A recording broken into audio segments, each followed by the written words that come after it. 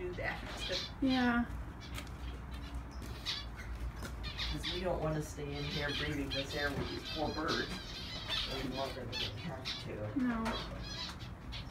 No, and you're about to get these guys out of here. Yeah, don't you worry. And some of the food is just so full of bugs and whatever that. Okay, guys.